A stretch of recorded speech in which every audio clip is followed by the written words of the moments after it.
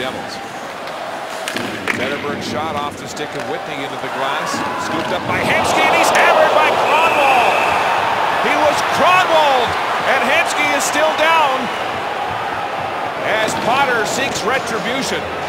Hemsky is helmet off, gets up now and heads to the Oiler bench.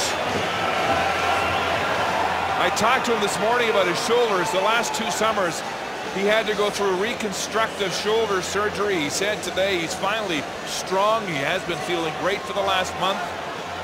But that shot may have been more to the head. His head's down. His head's down right there. In a remake of the Kronwall hit on Ryan Kesler. Four minutes for roughing. roughing.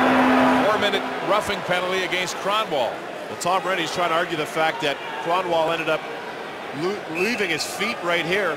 But that's not uncommon in some of the collisions. But the fact is, looks like the principal point of contact is his elbow. The elbow of Kronwall with the head of Hemsky. But you know what I like about this play right here, Mark? I love the way that Hemsky was able to pop up. Pop right up. Got up, came back. He's like, I'm fine, I'm fine. I don't know if he had that much fire. I love to see that from Hemsky right now. Great stuff. All the trade rumors. I wonder what Kenny Holland's thinking. There's been so much talk that Detroit might be interested in Alex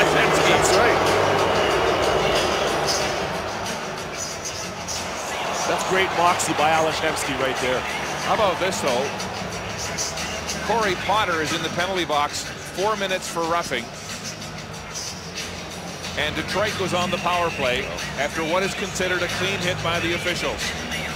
Hemsky is leaving the building for perhaps further uh, repairs.